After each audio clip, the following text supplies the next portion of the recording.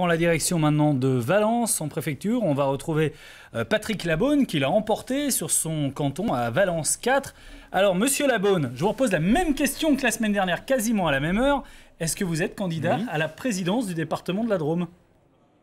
Alors, je suis candidat à la présidence du Conseil général de la Drôme, mais euh, pour élire, il faut que j'ai le soutien, bien sûr, d'abord de mes collègues, les parlementaires, Hervé Mariton, Gilbert Boucher et Franck Régnier, et aussi le soutien des maires des grandes villes, des quatre maires des grandes villes, c'est-à-dire Nicolas d'Aragon à Valence, de Mme Mourier était à mes côtés de Bourg-les-Valence, de Franck Régnier de Montélimar et de Mme Toraval de Romans. Et bien sûr, après, d'une majorité de mes collègues du Conseil général. Alors je peux vous dire que bien sûr, nous sommes en discussion entre nous pour trouver un consensus pour qu'effectivement celui qui doit gérer le département avec une équipe, avec une équipe, puisse prendre gérer dans un côté pacifique ce département.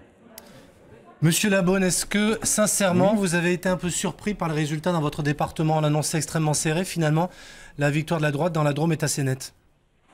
Euh, tout à fait. Je suis très surpris puisque j'avais donné comme pronostic, vous voyez, 9 euh, pour la droite, 9 pour la gauche et 1 pour le Front National. Donc le Front National n'a aucun élu. Euh, le département, la gauche, a 8 élus. Et nous, droite et centre, puisque nous avons réussi à faire l'unité, a eu 11 voix. Donc c'est une belle victoire, une belle victoire de la droite et du centre unis. Merci beaucoup Patrick Labonne d'avoir réagi sur l'antenne de Merci France 3